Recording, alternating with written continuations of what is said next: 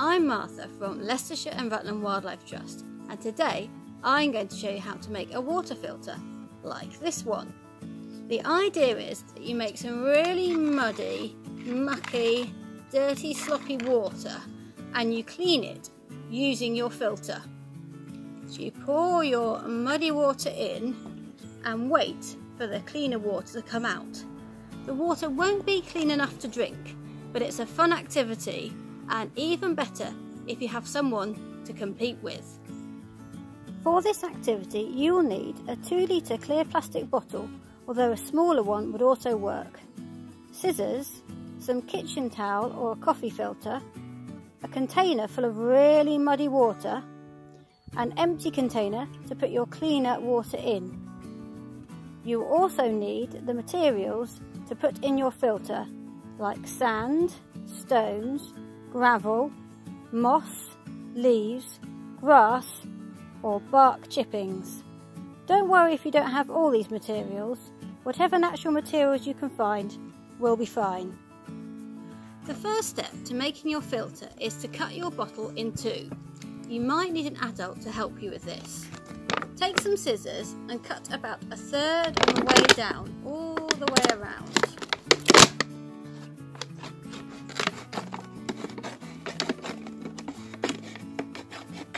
You're left with two parts, the funnel and the bottle to collect the water in. If you find that the outside is a bit sharp, you might want to cover that over with tape. The next bit is to line the funnel with some kitchen towel or coffee filter paper. I've got a couple of pieces of kitchen towel here. I'm just going to put them into the funnel and make sure they're a nice snug fit. The purpose of the kitchen towel is to stop the finer bits or particles getting through. Next, you need to add the sand, stones or other natural materials you have to the funnel.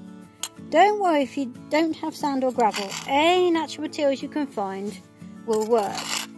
Smallest should go nearest the bottom, larger materials towards the top. So I'm starting with some sand, then I'll add some grass, next the leaves, and the bark chippings. And then lastly, the largest bits are the stones or gravel. The idea is that the different materials will catch the muddy bits or sediment as the water flows through or percolates. The slower the water passes through, the more bits will be caught. Finally comes the fun bit, adding the muddy water to your filter. Pour it quite slowly and make sure the water doesn't overflow the filter paper.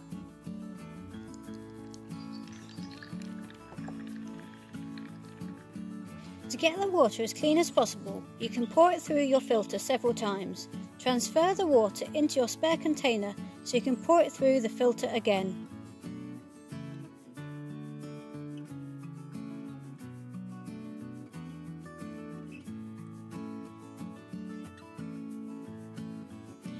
It's then time to compare results. Line up the water from cleanest to dirtiest. Who managed to get the cleanest water and why? For example, was it due to the type of materials they used or the order in which they put them? Perhaps have another go using their methods. But remember, don't drink the water afterwards.